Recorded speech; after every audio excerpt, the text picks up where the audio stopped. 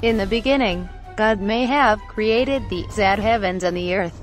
But it was Cambrian Metazoan hookup culture that gave us the basis of most life forms we know today. In the 550 million or so years since the Cambrian explosion, science tells us, just about every organism that ever existed has gone extinct. The lucky minority adapted, survived, and skipping way ahead to the good part became you and me. Automotive archaeologists of the future will find in the fossil record of the early 21st century evidence of a semi-Zadler explosion of new life forms, with the emerging tiny Ute class being one bewilderingly diverse phylum. All six Wee boxes here bear traces of subcompact hatchback DNA.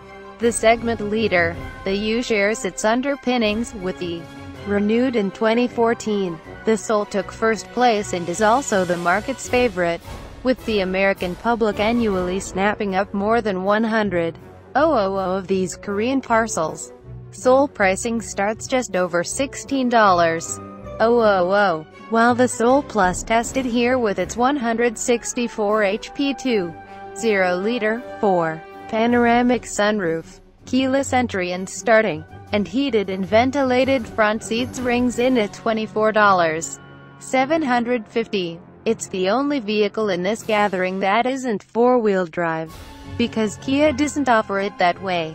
Like the Soul, that has the profile of a car drawn by a four-year-old a short rectangle atop a longer one atop. Some circular wheels. All new for 2015.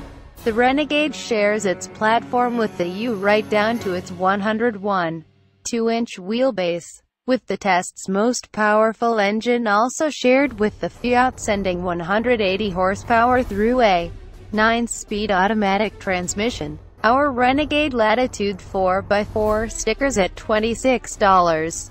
360. Still upright, but less of a cubist's delight, is the Buick, of all brands, was one of the pioneers in the subcompact crossover class. After sales of the